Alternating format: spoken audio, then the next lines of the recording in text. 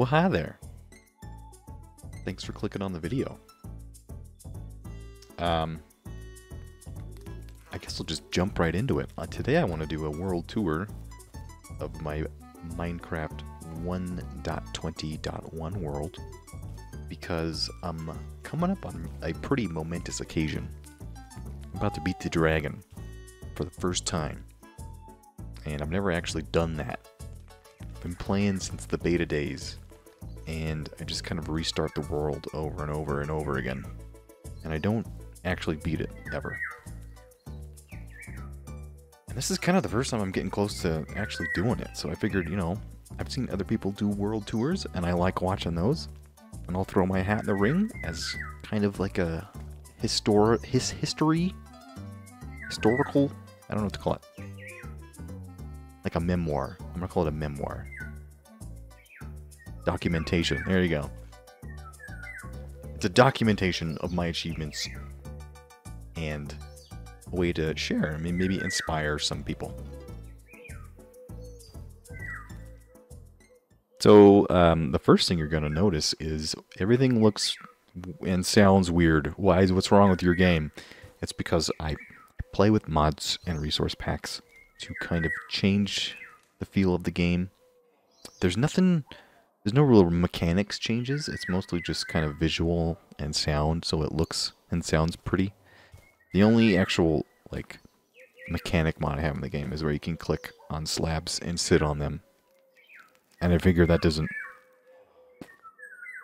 that doesn't uh, interfere too much with the with the with the gameplay.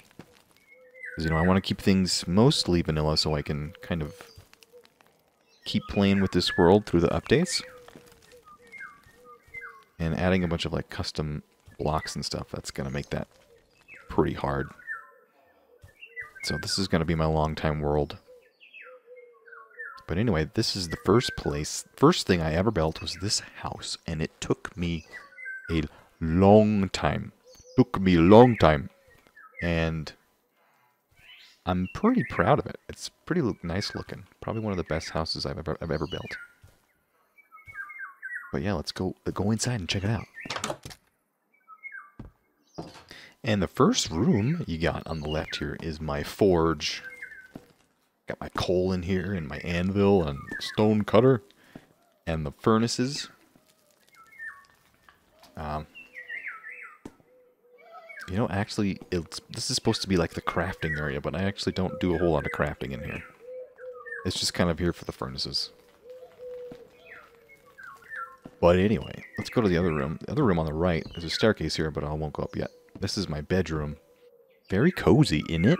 Very cozy. And uh, some things I got in here, which was interesting, is my first wooden pickaxe I made.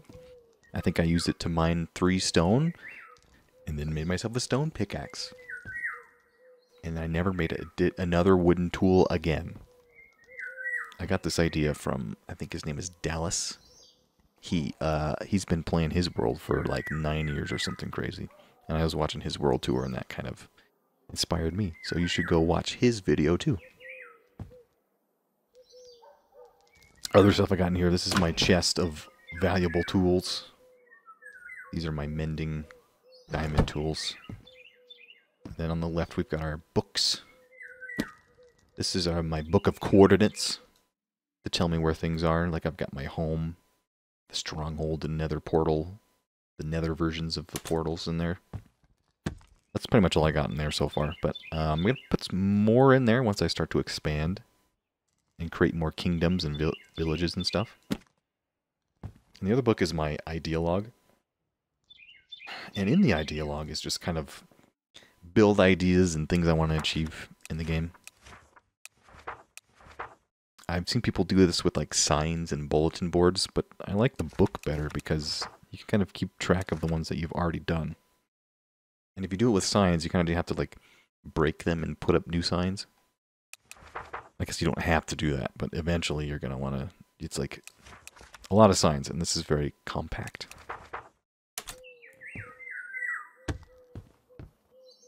But yeah, that, that's cool. And then coming out here at the end of the hall, we've got our great room, which is really cool. It's got a vaulted ceiling and a chandelier. I used to have my enchanting set up in here. I had to move it for reasons which will make sense in a short while. So right now it's just kind of empty. I don't really know what to do with it. I think I'm going to make it either like a dining room or like a treasure hall, maybe. I've already got my last suit of iron here. But, uh, yes. Currently unfurnished. And the other room at the end of the hall is this here. This is my storage room. This is almost all the stuff that I have. That's uh, decorations, armor and tools, random stuff. Uh, crops, redstone, stone, dirt, wood, mob stuff, my treasure, and plants. But yeah, eventually I'm gonna I'm gonna outgrow this little room and I'm I'm gonna build a warehouse to store all my stuff. And then maybe this might get transformed into like a kitchen. I think that would be nice. Coming out here, we're gonna go upstairs now. And then first room at the top of the stairs is my potion making room. And we've got our potions here and my cauldron and like a bunch of plants and stuff over here that makes it look like I'm growing ingredients for my alchemy. And then in, in here I got some potions and ingredients and stuff. Like this is me my getting ready for the dragon fight and here I've got some slow falling and some healing. But yeah, that's the potion room. Coming out here we've got another hallway and then this kind of just does like an overlook which is nice. I like it, but it doesn't. the view's not great right now because it's empty. And then at the end of the hall, we got another small room, which is also empty. Um, I don't really. It's kind of too small to do anything with it. Maybe I'll turn it into a bathroom or something. I don't know. So it's gonna. I just put the wall here, put it back, and it'll just be empty. And then the last room. Wouldn't you believe it? It's also empty, but I do have a plan for this one. I'm gonna put some. Uh, I'm gonna once I get my elytra after beating the dragon, I'm gonna put a get a map, get a big old map wall right here of like fly around, fill up a bunch of maps. It'll look good on this wall. And then maybe something in the middle of the floor. I don't know. It's got a good view though. I like it. But anyway, that's the house. This right here is a little exit on, on, onto a balcony. And you can go down here. And then let's explore the village. Coming down this way, we've got our first villager house. And the thing I'm doing with villagers is each one of these guys was once a zombie that I cured. And I don't think I'm going to breed them at least not at this point. Maybe later, once I start trying to make more villages, I might breed them. But uh, I kind of think villagers make the game a little bit too easy. And if you just go and hijack them, the game turns into turns into villager trading simulator. And I don't like that. So each one of these guys is cured, and I'm going to cure every single type of villager. But anyway, this is my cleric's house. His name's Donnie. He's got a little chapel here. And I wanted a cleric as one of the first uh, villagers. Hi, Donnie. Because living in the Dark Forest, there are quite frequent zombie invasions. And I was, I was neck deep in zombie flesh, so I needed to do something with it, so I cured a cleric. And this is Donnie. Huh? Yep. He'll buy all my zombie flesh.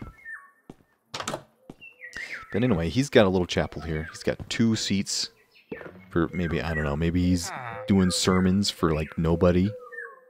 I don't know. Yeah, this is this is where he does his um he's got his little book here. And his potion maker is right there. This is his bedroom. So uh, very quaint, but I mean, he's a cleric, so poverty's not a big deal for him. But anyway, coming outside. Uh, this is the greenhouse. I really like this greenhouse. This is where I keep my bees. But yeah, check it out. This is where I keep my bees and get my honey. Very cool in here. It's got a high ceiling. Looks great with shaders. I don't normally play with shaders, but I figured, you know, why not show it off, make it look as good as possible. Hope the bees come out. I want to see the bees. There we go. Oh, here, here, there they go.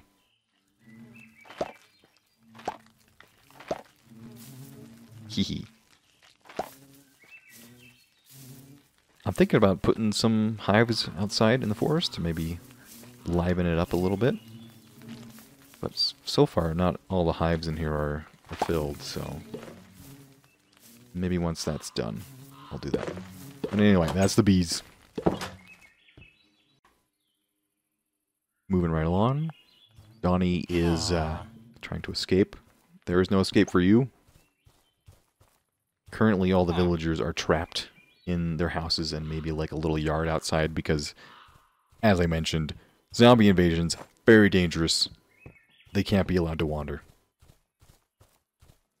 Anyway, coming back out this way. Oh, here's our newest addition to the village. He's a little baby right now. But, um, he's going to be cured. I don't have a name for him or what, not sure what job he's going to be either. So, um, yeah post your uh, post your name suggestions in the comments. This is one of my newer ones. His name is Carlisle. He is a stone cutter. This is his house. Oh, he's sleeping right now. This is his house. He's got his stone cutter and some slabs he's working on.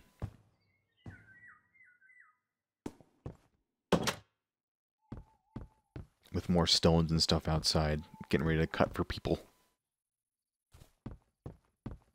His trades are not very good. I just got him like two or three days, Minecraft days ago, and I don't really trade with him that often.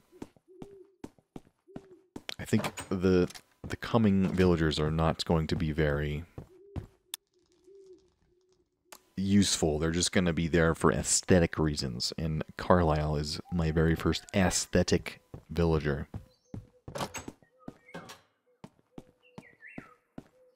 Anyway, let's keep going.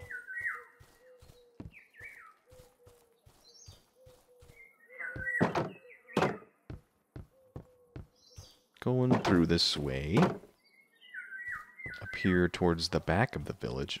Uh-oh, uh-oh.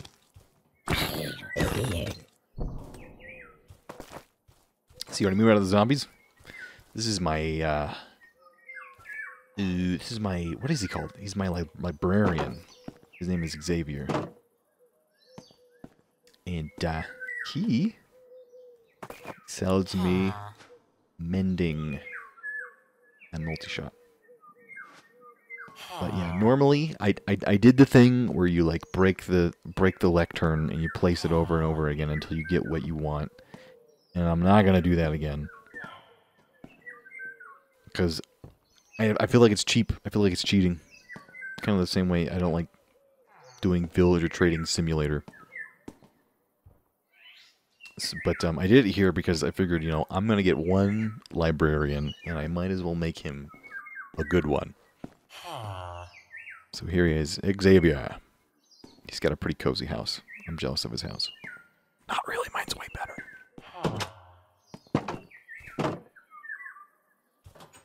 The, the, the village is going to expand more this way. There's a... Uh, some posts I set down over there for the next house. I'm not sure who's going to go in there yet. This spot right here is kind of my experimentation with lighting. I don't like torch spam. So I was like putting out glow lichen and these like hanging vines, the glow berries, and there's some shroomlights in the trees. I don't think I like these vines, the hanging vines. They, the, the color of the leaves doesn't really match the dark forest very well. So, yeah. Experiments. Experiments. But anyway, this is my first villager's house. His name is Boris. Um, starting out in the, in the world, uh, I was getting lots of spider string. So, need something to do with the spider string. So he's a Fletcher. He buys all my spider string. How's it going, Boris? He's my first villager. Um, this is where he keeps his spider string up here. Getting a little low. But anyway, he's got a nice quaint house, very rustic.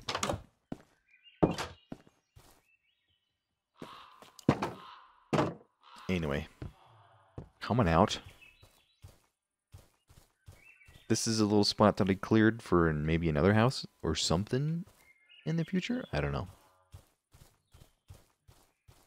But uh, that's my last villager's house. Uh, house. Let's go over there.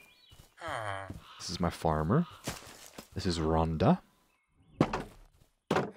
She's also very new, so her trades are... I have not traded with her once. She buys beets and potatoes. I don't really...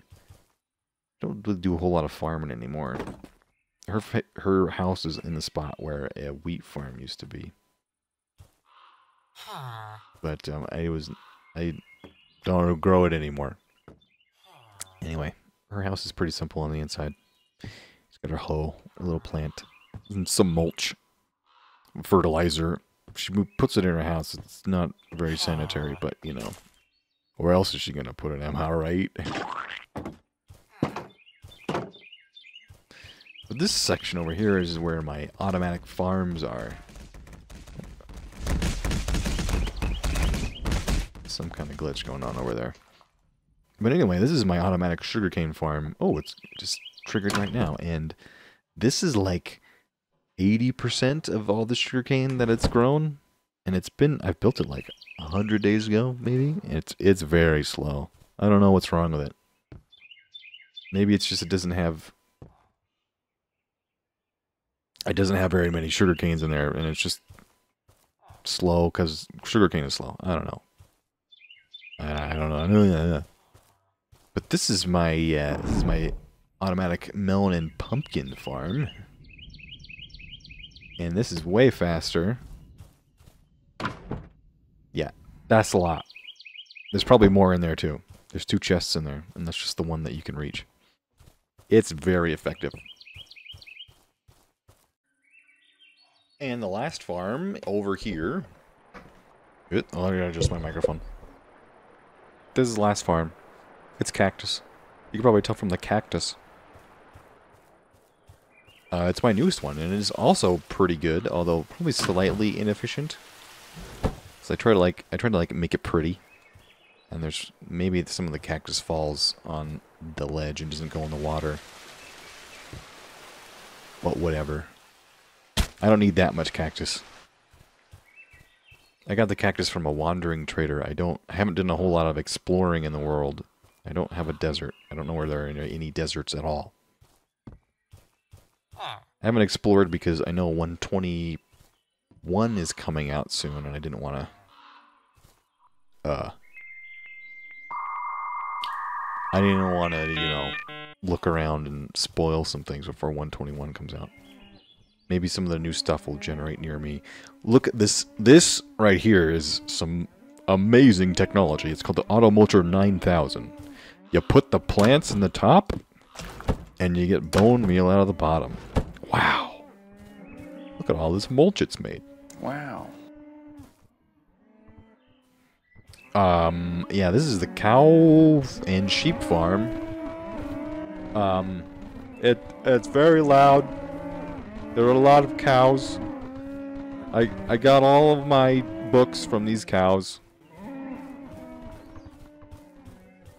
There's a little inside area, and it lets you get into the sheep and cow area. There's sheeps of all different colors. Eventually, I'm going to make an automatic sheep farm that shears them once I get every color of sheep. And then maybe some pigs will go in this section and replace them. I also want to make I want to make a farm for every animal. So there's I'm gonna get llamas and I'm gonna get rabbits and goats. It's gotta be great. I should talk about this thing over here. Maybe turn down the the cow sounds. There you go. This is my attempt at um, adding some lore to the world. This is like a wooden statue of a guy in like a cloak, and he's got a staff of light. And I'm calling these guys, I'm going to make some more of these, and I'm going to call them, I think, the Sentinels or the Druids, something like that. Right now, there's no backstory at all. He just kind of looks cool. So I'm going to sprinkle those around the town. And uh, maybe give them names. I don't know. But I like how this little area turned out. Looks cool and mystical. I also want to give... I want to name the town something. I'm thinking about using the word Sylvan, which means like rustic and woodsy. I think that captures this place pretty well. I think uh, Sylvan Grove is where my mind goes, but the thing is, it doesn't really have a, any flow. This path just reaches, connects the uh, automatic farms to my house. I might put something else here. I don't know yet. But anyway, that's almost everything above ground. There's one more area to look at. Which is down here. In the center of town. There's a little hole, which is the, the mine. And this is the my first hole that I dug down. And this is kind of the minecart tracks to the places of note which are underground. I've got two ways to ride. And one of them goes to the enchanting and spider grinder, because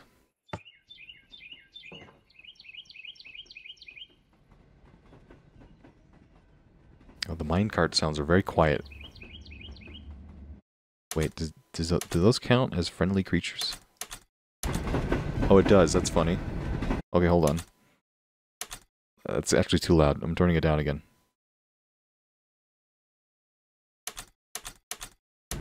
But anyway, this minecart track, I kind of interrupted it there, but this leads over to the enchanting area. And this is down here because of this little beauty righty. This is the double spider spawner grinder. There's a spawner in there. And there's a spawner over there. If I'm in a mine shaft right now. As you can tell, some, some of the remnants of the wood is still here. So yeah, it's a, it's a mine shaft. And two of these spawners spawn right pretty close to each other. So I said I'd, you know, I'm going to turn it into, into an XP grinder. And, uh, I get lots of stuff out of here. I get lots of string. And uh, spider eyes. The string I, I trade to Boris. And the spider eyes I don't really have a use for right now. Which is kind of a bummer. But uh, it, uh, this place is kind of dangerous. So you're going to have to stand back and whack them from here. But yeah. You sit and you wait, and the spiders pop up here, and then you slap them. And then put the crap in here. And then you can chant stuff here. And this is where I got most of my gear. Um, I'm pretty close to getting perfect um, enchants. I still need to get a Silk Touch pick and shovel. But, um, so yeah, I'm, I'm ex expecting to do more enchanting in the future and also want to kind of uh, pretty this area up a little bit. It's a bit ugly. Can't let this go to waste.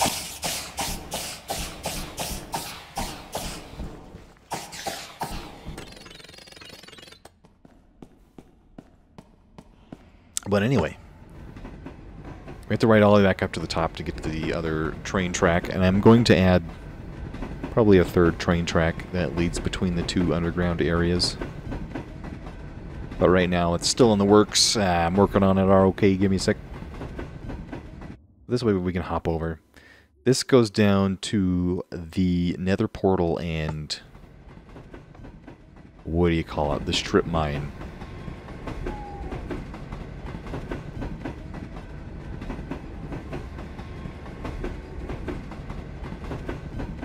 But yeah, digging down, little staircase at the very start of the game, which is, is over there. I found this little lush cave, and I thought, you know, this would be a cool place for a nether portal, which is right here.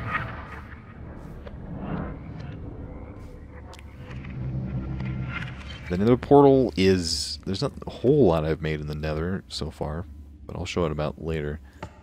Might as well go show you the um, the strip mine, because you know that's really interesting. I gotta show you. I gotta show you where I hold down left click and W. But yeah, no, most people, I had some like wood, like decor in here, but um, it all burned down because lava somehow burns things through the floor. And instead of like, you know, avoiding the lava like a smart person, I would just pour water on it and make it this big old obsidian mess. Which I think it, it, it looks cool. And like there's lava coming down from up here. But yeah, I've done lots of mining. I did not find a big cave so so far. One of the caves and cliffs caves, one of those giant gigantic, which I'm a little disappointed. I will find one one day. But in these chests is just stone and some nether blocks. And that chest I can't open.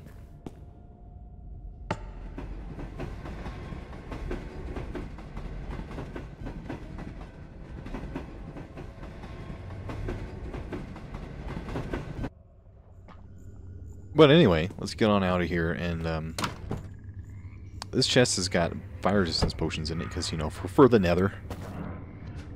Um, and these are my nether shoes, my nether kicks. They've got um, fire resistance and stuff on it, which makes traversing the nether less scary. This is kind of a loud portal. I'm going in though. I'm going to show you my very... It's very meager in the nether, things that I've made. But it does go somewhere nice. Hopefully the game doesn't crash. Okay, here we go. The nether. oh, hello. But yeah, this is my initial nether spawn. It's in a Soul Sand Valley. There's a big cliff on the other side of this, which is why I added the walls. It's just a cobblestone box right which I'm gonna make it nice looking, I swear. But coming out of there, there's another fortress right there, which is super, super, super lucky. Die, would you? But anyway, and then another fortress right there, which is super handy. And then coming up this way, I've got another rail. And this rail goes to the stronghold. Stronghold actually generated pretty close to my house, which was lucky. So I didn't have to make a rail too long in the nether. Also, I, I like rails, okay? Just, they're fun to ride. I feel like it's a bit of a lost art now in modern Minecraft where you can just fly everywhere. But yeah, this is the stronghold.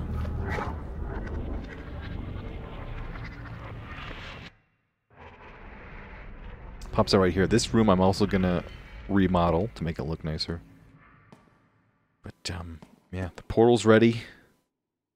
I'm not exactly ready, but, you know, um, I'm gonna I'm gonna fight the dragon with you guys. I'm gonna uh, get get geared up and I'm gonna make it cut, and then we're gonna fight him.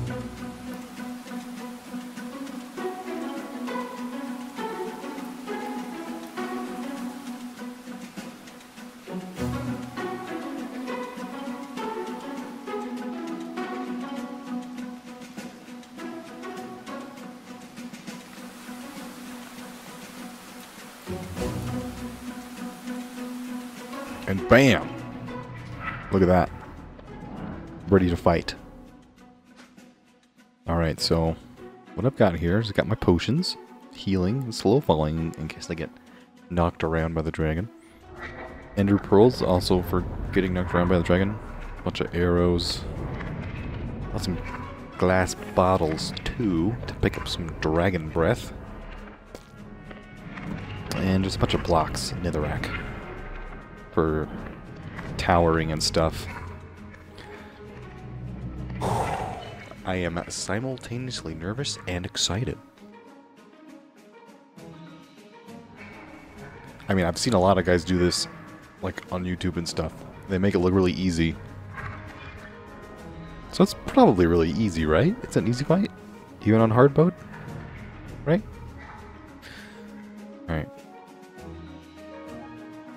No more dilly-dallying.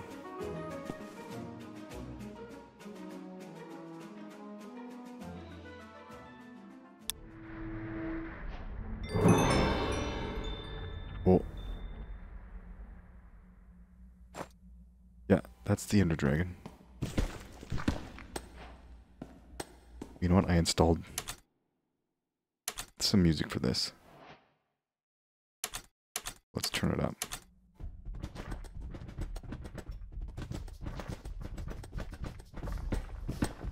Okay, here we go. Oh. Oh, it's so cool. And there's the dragon. Alright, here we go.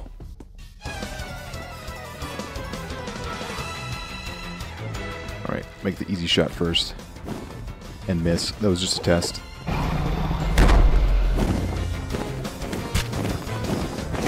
You're not supposed to do that! Go away. Whoa! Okay. Don't know why the eating sounds don't work. Oh! Dragon breath! Get it, get it, get it. This is easy, right? Wait, did I...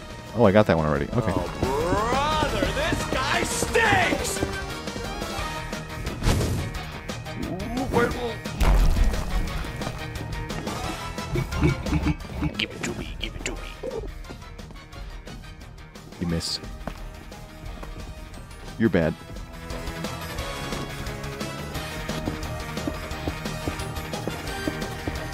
not doing the bed strat either. Ooh, that could have been bad.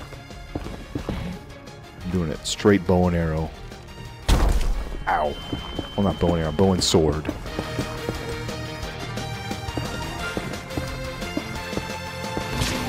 Ow! Oh, oh, okay.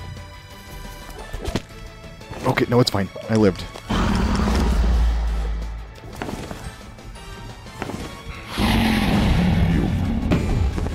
Bastard.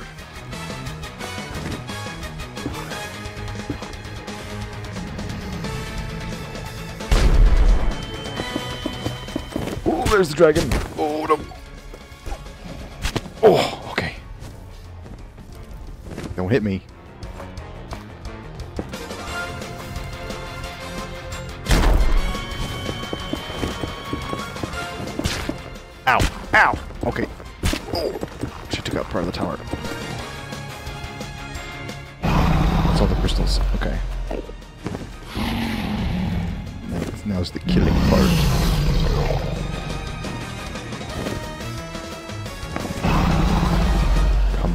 Coward. Fight me like a dragon.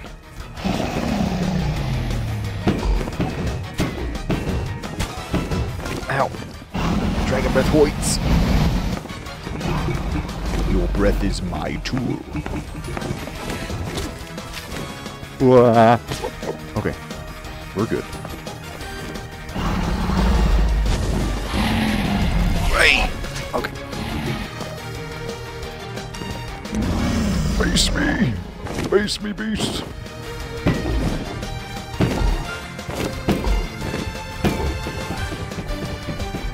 Might, I might have been over-prepared for this. Ow!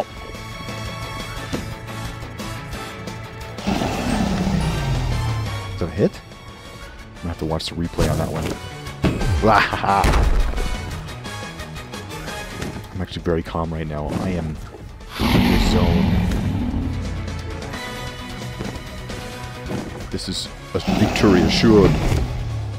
Shoot your breath. I dare you. I need to get out more bonuses. suck up your breath.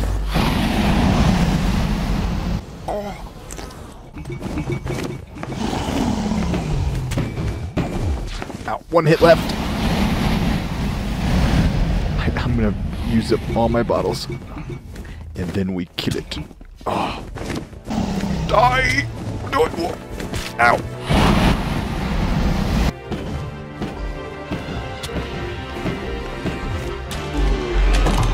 Die! Die! Yay! Victory pork chop.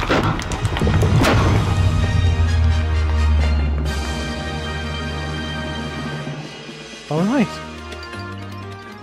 I beat the game. 69 levels. Nice. And then we get the dragon egg like so.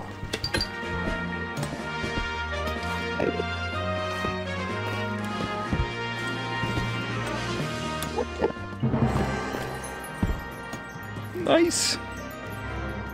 Awesome. Well, I'm I'm pretty hyped about that. That was fun. Thanks for watching the video. I guess if you want to. Oh, um, let's let's let's go back to the let's go back home before I do the outro. All right, we're hopping in.